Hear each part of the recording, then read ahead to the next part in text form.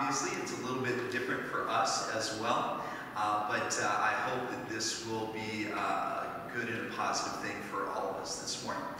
Uh, those of you that are worshiping at home this morning, if you haven't already done this, what we want to encourage you to do is to uh, click on the link above where you can print the bulletin for worship this morning. You can print the song lyrics so you can sing along. Uh, you can also print the sermon notes. And if you would like, you can even print the Southview Spirit. Uh, so we encourage you to do those things. If you need to pause the video right now, you're welcome to do so. Uh, and then once you've printed those things, just come back and join us. The other thing we'd encourage you to do is if you haven't already done this, uh, we encourage you to find uh, some bread, and if you have uh, grape juice or wine that you can use, go ahead and set those aside uh, because here in about uh, half an hour, 45 minutes, uh, we will be having communion, and you can take communion at home. So, go ahead and get all of those things in place, and once you're ready, you can start the video up once again, and we will continue in worship with you. Uh, and if you are ready, what we're going to do now is we are going to invite those who are able, including those at home, to please stand and join us as we sing our opening hymn together. Our opening hymn is Holy, Holy, Holy, and we will sing all three verses.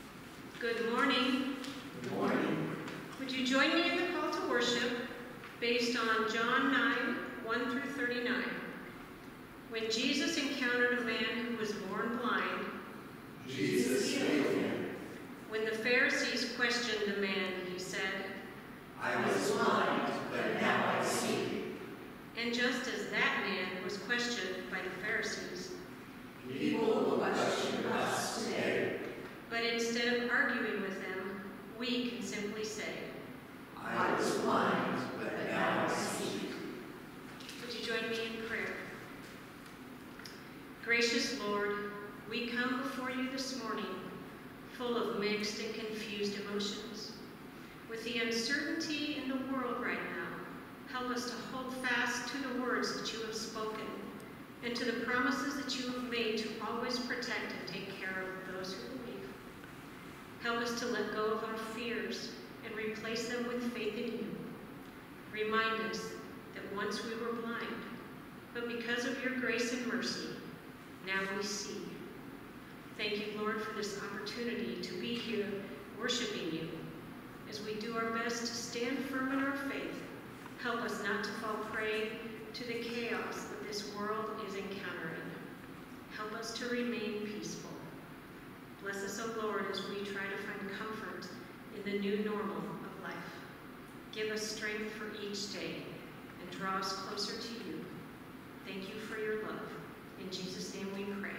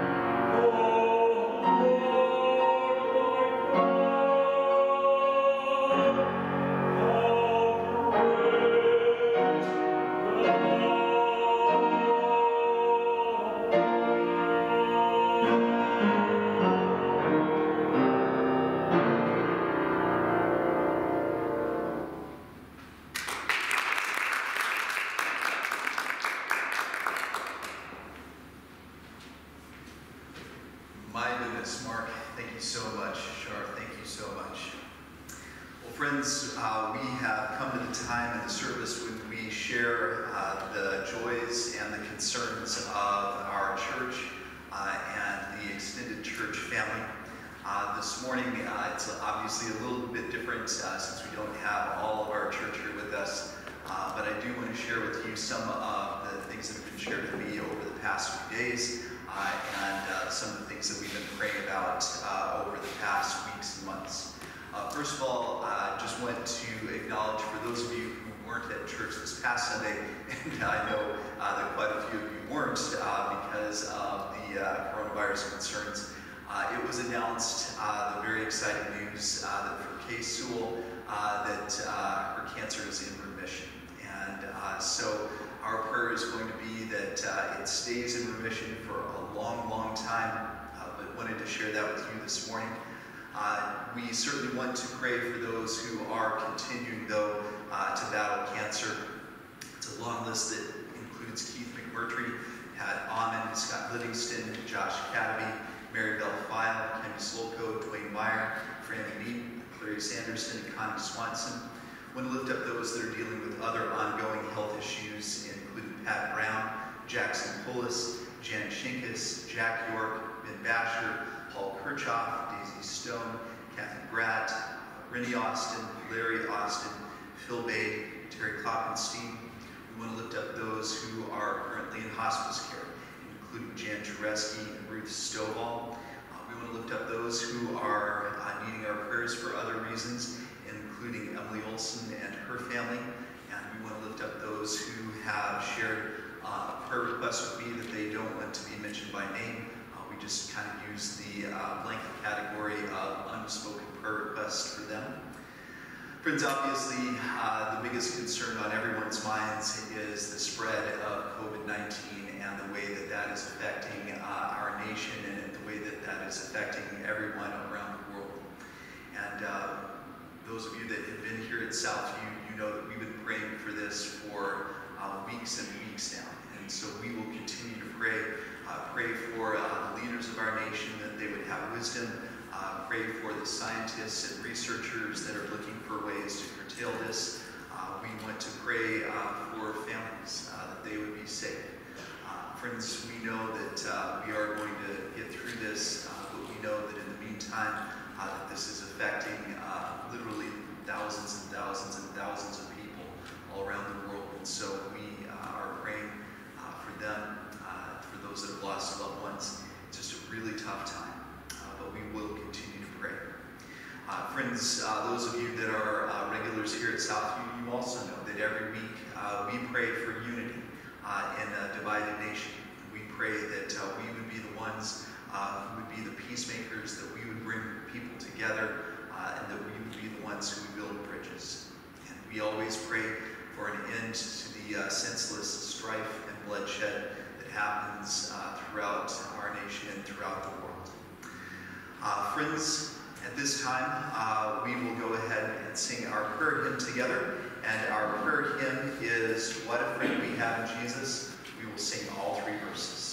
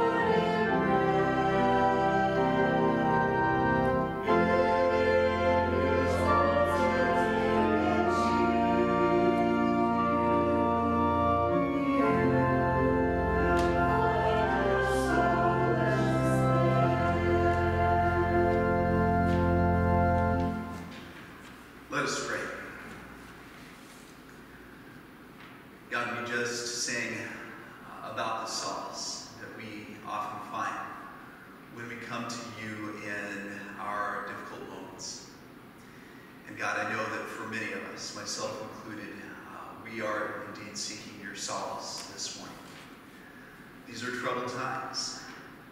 And we are concerned not only for ourselves, not only for our immediate loved ones, not only for our uh, church family, uh, but we are concerned about uh, our neighbors.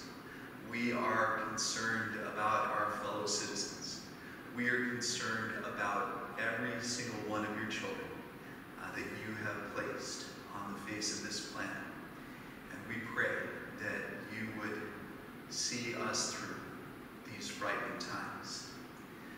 God, as we come before you this morning, there are so many, so many different ways in which people are uh, putting forth their best efforts, and we pray that you would bless them and that you would uh, help them as they reach out to those who are in the greatest need.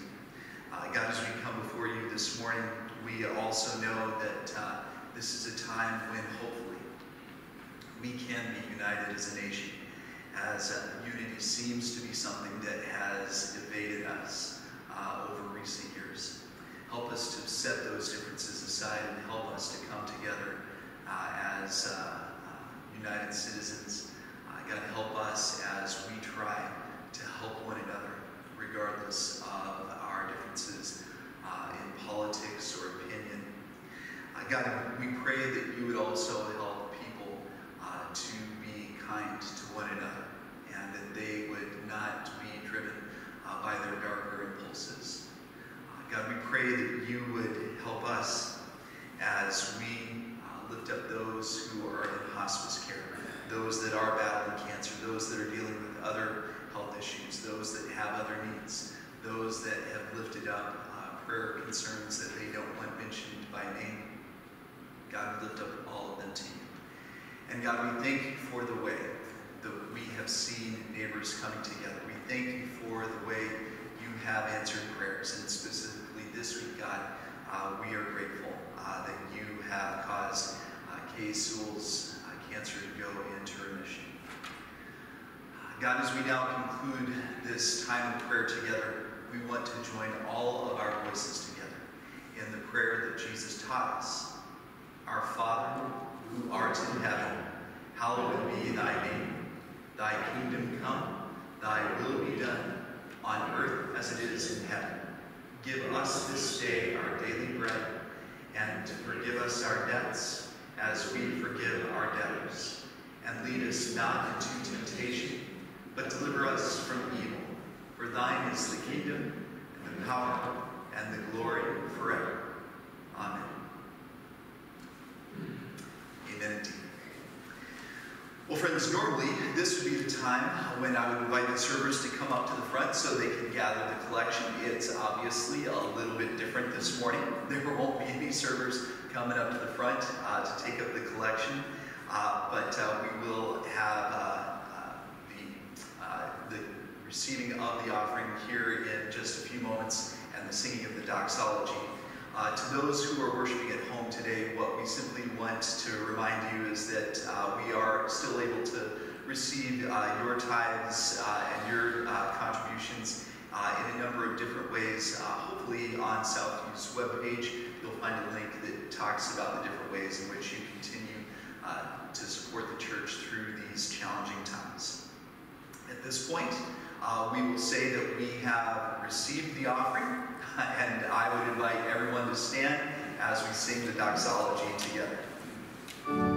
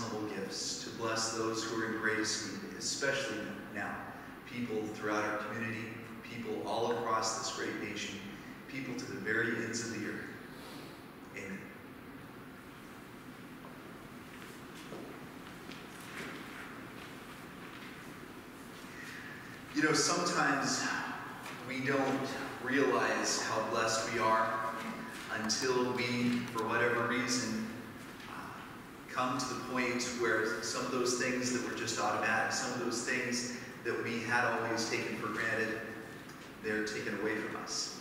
Obviously, right now, uh, that is something that we're feeling in a very acute manner. About uh, six months ago, I don't know, maybe it was a year ago, there was uh, a movie that came out on Netflix. I don't know if any of you watched this movie, but it was called Bird Box. And it was uh, kind of a dystopian tale set in the future. It was about a time in which people couldn't use their vision because for them to actually use their vision, it was dangerous for them. And it started uh, uh uh, Sandra Bullock, and it talked about how uh, she had to navigate through life, how she had to try to help her loved ones navigate through life uh, when nobody could use their vision. And in the passage we're going to look at this morning, we are going to see an individual who knew exactly what that was like because he was born without vision.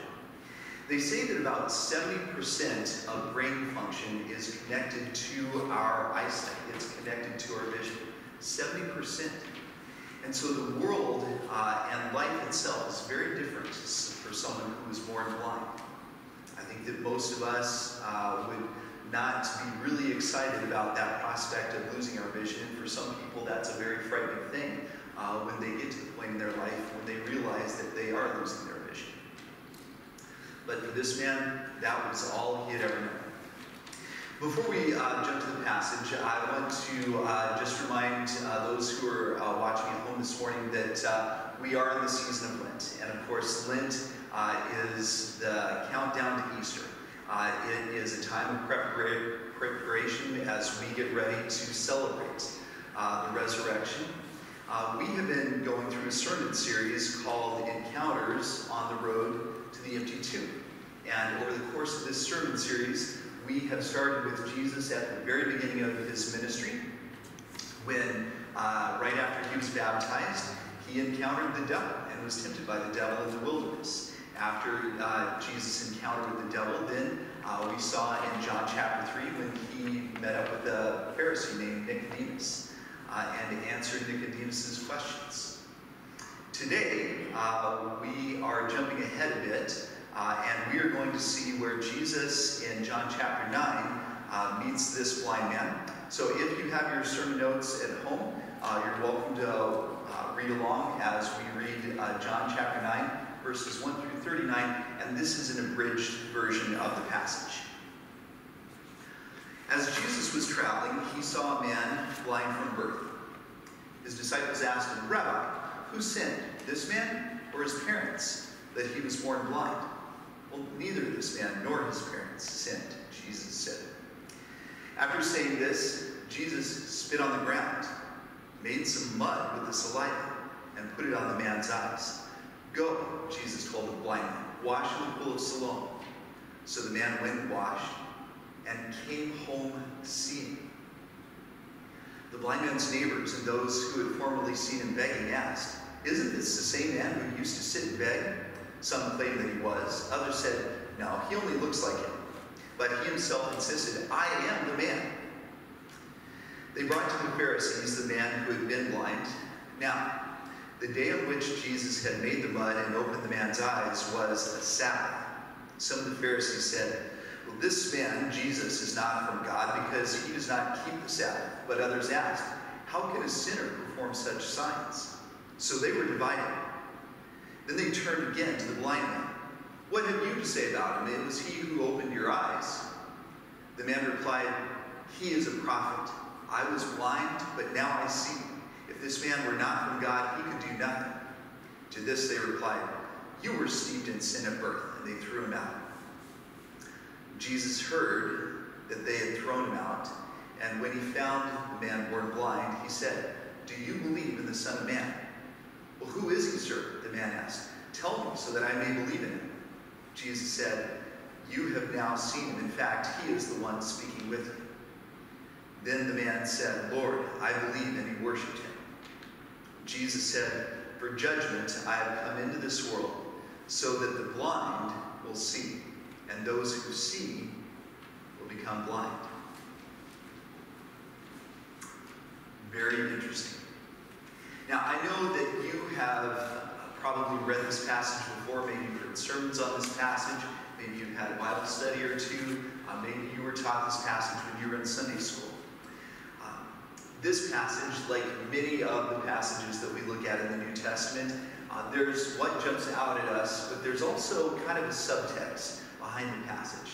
So let's do what we always do. Let's talk through the passage. Let's understand not only what's jumping out at us, but also what's going on behind the scenes. And then after we talk through the passage, we're going to discuss some of the things this passage has to teach us about our outlook on life. There are some traps that we can fall into uh, where our outlook on life is concerned. And I think that if we pay attention to this passage, it'll help us to realize how to avoid those traps.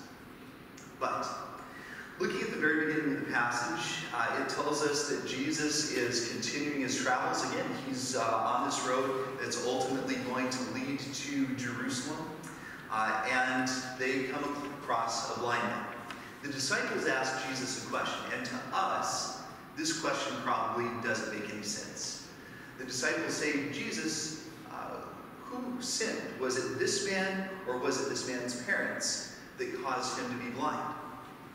So apparently, the disciples are under the impression that this man, either he or his parents, have done something wrong, and that's why he's blind.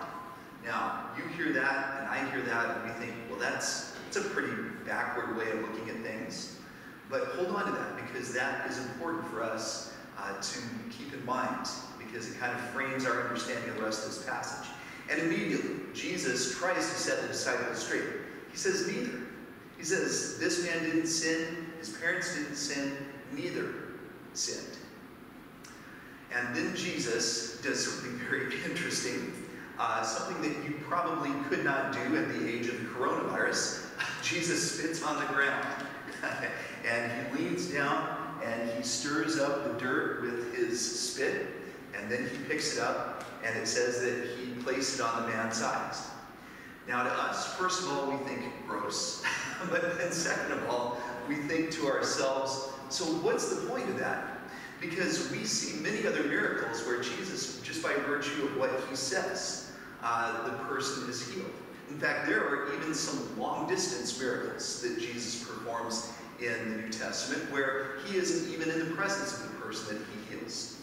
But in this particular case, he spits on the ground and he makes mud and he puts it on the guy's eyes. And then he says, before you're healed, you got to go to the pool of Siloam, which the man does.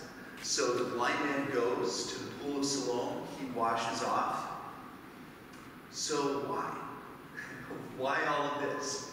Jesus could have, if he wanted to, could have uh, just said the word. He could have healed the man from long distance. Uh, why all of these specifics? Well, in this particular case, it seems safe to say that this was for the man's benefit, for the man to know that something tangible had happened that caused his healing. Uh, it was probably for the disciples' benefit as well. Sometimes the disciples' faith need to be strengthened, and Jesus understood that. This is still fairly early in Jesus' ministry. And then this idea of washing, of course, uh, is something that's very important in the New Testament as well. Uh, the idea that uh, when we go and when we wash ourselves, uh, whatever baggage we are carrying, uh, that we leave that baggage behind and it is washed away. So in this particular case, uh, Jesus does all of these things because it was important for this particular individual. It's probably important for the disciples as well. And, as we're about to see, uh, it also leads to the controversy in the rest of this passage. So the guy goes and he washes, and sure enough, he has his sight. And so he goes back home, and he is a completely different person. He is such a different person, in fact, that some of his neighbors don't even recognize him. Some of his neighbors say, Is, is that the guy? And others uh, of the neighbors say, No, that can't be him. Some of them say, Yeah, that's him. And the blind man says, It is me. I'm the guy. But as much as this should be good news, this should be the ending of the story, it's not the end of the story. Because now uh, the religious leaders get involved. The problem is that the day in which Jesus had healed this man, uh, it was the Sabbath. And you weren't supposed to, quote unquote, work on the Sabbath. And when Jesus healed him, he had, quote unquote, worked. In fact, one could make the argument that the reason that Jesus uh, went through all of these motions of spitting on the ground and making mud and putting it on the guy's eye and telling the guy to go to the pool of Siloam, which was not nearby. The point of all of that was Jesus wanted to force the issue. Jesus wanted to make it something where he had actually, quote unquote, worked on the Sabbath. Jesus wanted to make a situation, wanted to create a situation where the blind man had to, quote unquote, work on the Sabbath because there were only so many steps that you were supposed to take on the Sabbath. After you took a certain number of steps, you were working. And the man had exceeded that number of steps. So everybody's had to work all of a sudden, and now we've got a religious controversy.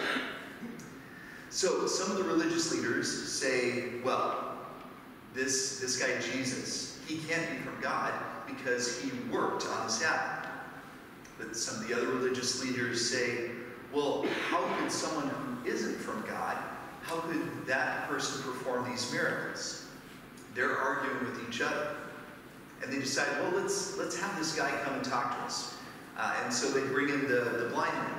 And the blind man comes in, and the blind man, or the former blind man, says, look, I don't know anything about your uh, religious controversy here. All I can tell you is this. I was blind. Now I see. Kind of reminds me of a hymn.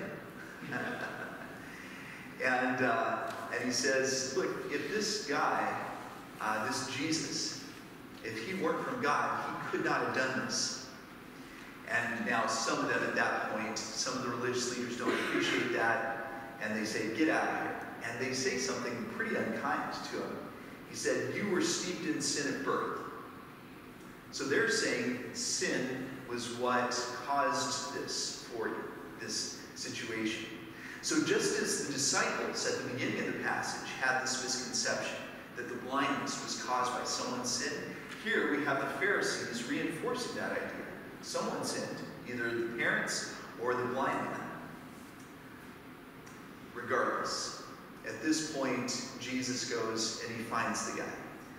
And he says, Do you believe in the Son of Man? Now, we've talked about this before, but anytime you see that three word phrase, Son of Man, anytime you see the phrase Son of Man, we should think to ourselves, Son of Man equals Messiah. Son of Man equals Messiah. And of course, we know that the Hebrew people had been waiting for the Messiah for centuries and centuries and centuries and centuries. And so Jesus says to the formerly blind man, Do you believe in the Messiah? And the formerly blind man says, Well, who is he? Show me. And Jesus says, Well, you're talking to him right now. And then the formerly blind man says, Lord, I do believe. Worships Jesus. And then Jesus concludes the passage by saying something pretty profound, something that I think all of us should kind of think about. Jesus says, For judgment I've come into the world so that the blind will see, and those who think they see, that they will become blind. So, what does Jesus mean by that? Well, course, I think the way that many of us would interpret this is that Jesus is saying is those who were hopeless before, now they have hope. Now they can see. And those who thought they had it all figured out maybe still think they've got it all figured out.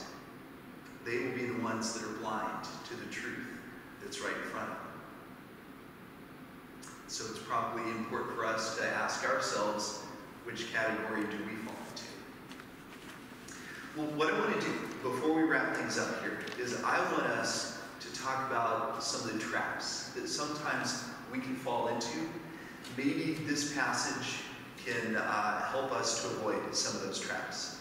And so the first trap this passage uh, tells us about is the trap of causality. That is, believing everything that happens is either a reward or punishment from God. Again, the first trap that many of us fall into is the trap of causality. Believing everything that happens is either a reward or a punishment from God. In this passage, the disciples believed that. The disciples believed that this man was blind because it was a punishment from God. The religious leaders said uh, the same thing later in the passage. And it was Jesus who said, No, that's ridiculous. And as much as we may look at this passage and think, well, you know, the disciples were pretty backwards, and yeah, the religious leaders, they were pretty backwards. I think that for many of us, even in our own personal faith lives, sometimes we look at what happens around us and we think, oh, God's rewarding me right now because I did something good, and so now God's rewarding me. Or conversely, sometimes we look at some of the bad things that are happening and we ask ourselves, is God punishing me? Is God punishing him? Is God punishing her? And friends, to be clear, I absolutely do believe that there are times when God rewards our faithfulness. And conversely, I absolutely believe that there are times when God chooses uh, to discipline us. No doubt.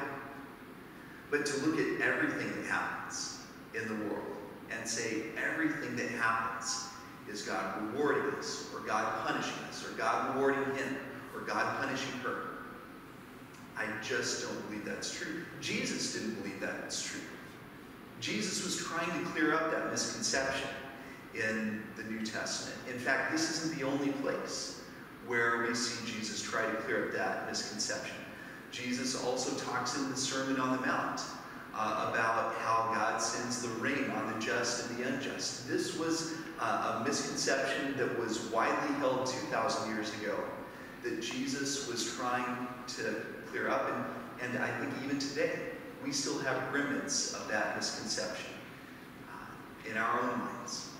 So let's not fall into that trap, the trap of causality. The second trap that we can sometimes fall into is the trap of argument. In other words, debating theology or philosophy instead of simply explaining what God has done in our lives. I'll say that one more time. The second trap that we should avoid is the trap of argument. That is debating theology or philosophy instead of simply explaining what God has done in our lives. Again, one of the interesting things about this passage is that Jesus probably could have performed this miracle in a way where technically uh, no uh, rules were broken. Jesus probably could have healed this man just by saying a word uh, or just by healing long distance. But instead, Jesus seemed to really go out of his way to break all of the rules that weren't supposed to be broken on the Sabbath, the rules about working. It's almost as if Jesus was forcing the issue. And sure enough, if Jesus was trying to force the issue, the religious leaders absolutely fell into the trap because they were arguing with each other about it afterwards. And then they bring in the blind man and they want to argue with him about it. And you notice what the blind man did? Did he fall into the trap of arguing with them? He didn't.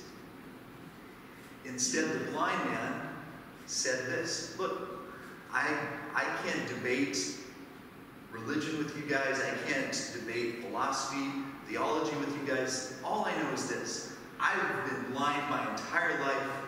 Jesus put the mud on my eyes, told me to go wash, and yeah, I worked, but afterwards I could see.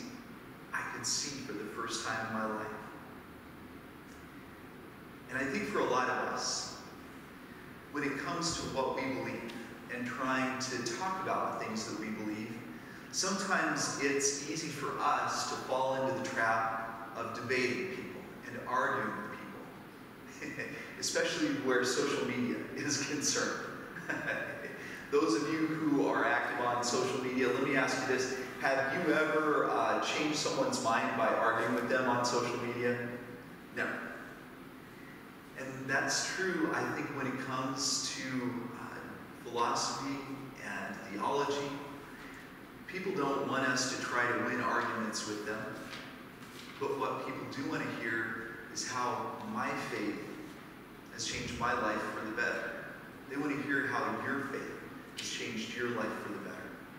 And if you can simply share that with them, I think that that can make all the difference. So that's the second trap that we should avoid. The third trap that we should avoid is this the trap of. That is excessively following the letter of the law.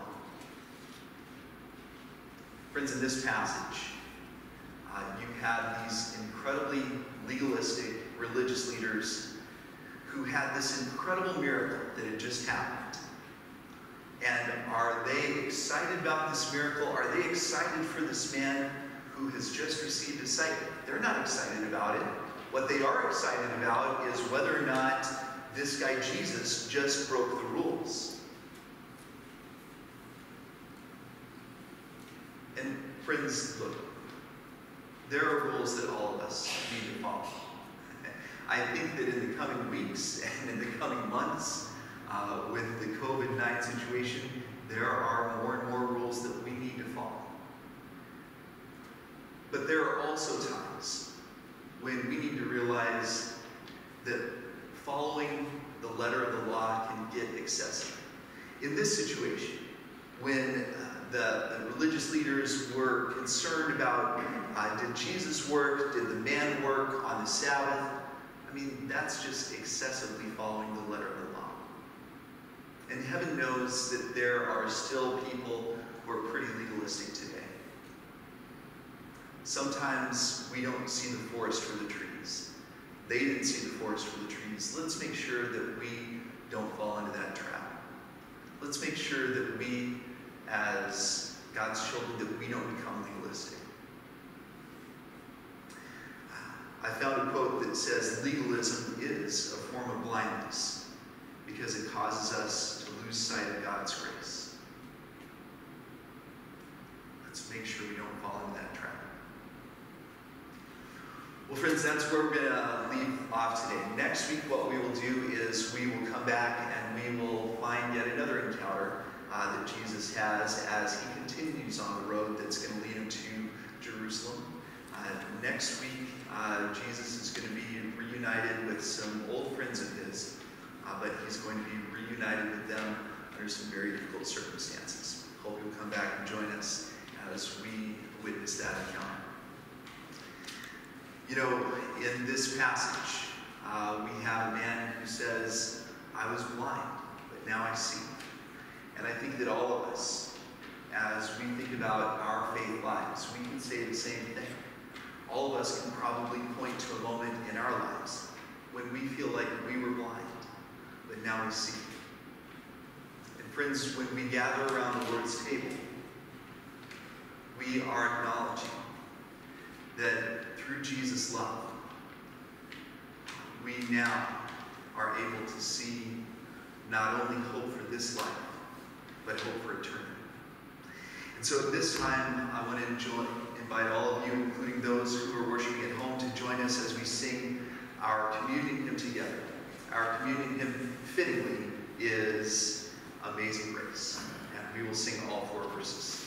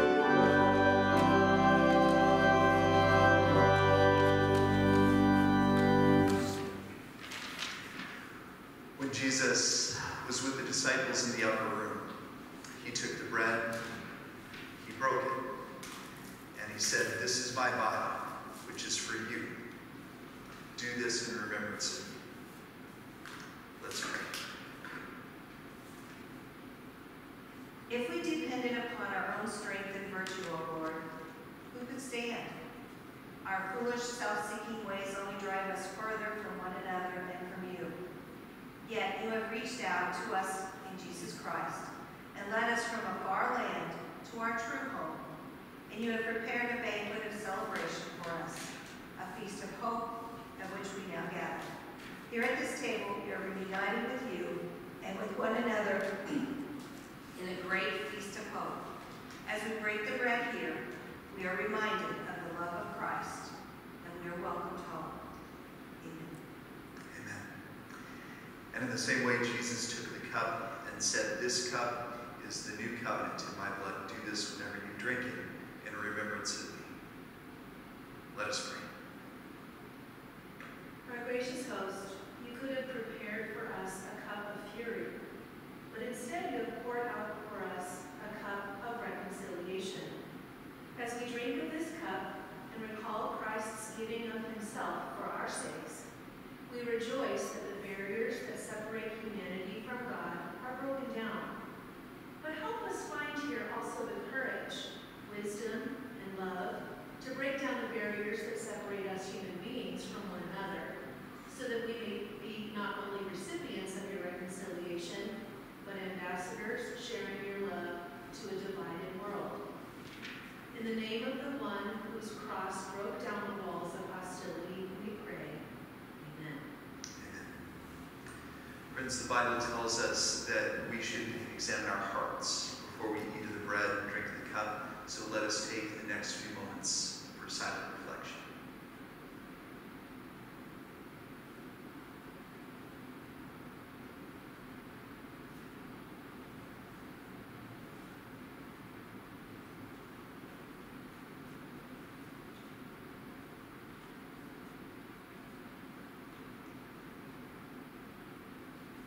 Lord, having taken this time to reflect, we now receive the utmost gratitude this meal of remembrance.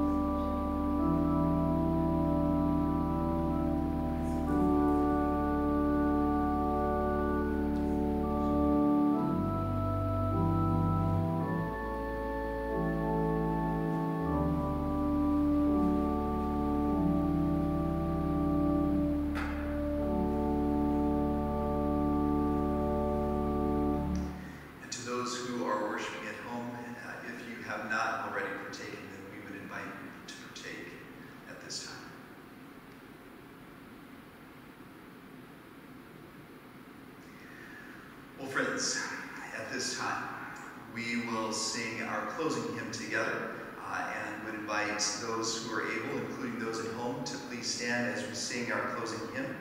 It is I Love to Tell the Story, and we will sing just the first verse.